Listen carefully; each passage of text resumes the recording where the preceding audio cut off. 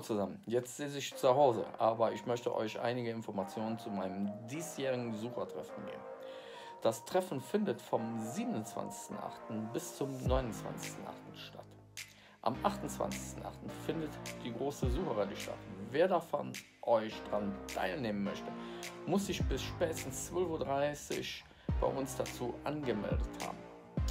Das Treffen findet wie gewohnt auf dem Sportplatz SSV Roggendorf-Tenhofen auf der Sinnersdorfer Straße 196 statt. Jetzt zu den Corona-Verordnungen.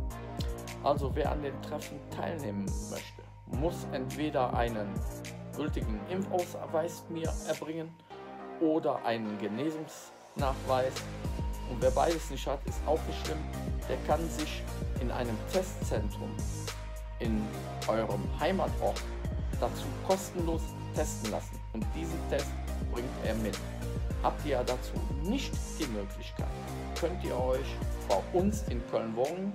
Das ist ca. 2,9 Kilometer vom Veranstaltungsort entfernt, dazu testen lassen. Dieses Testzentrum ist auf der St. Tönnes Straße 47.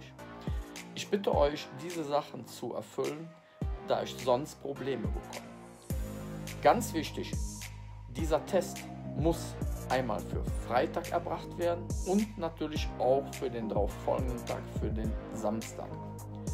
Ansonsten freue ich mich, euch alle mal wiederzusehen und sage bis dahin Tschüss, euer Markus. Ciao.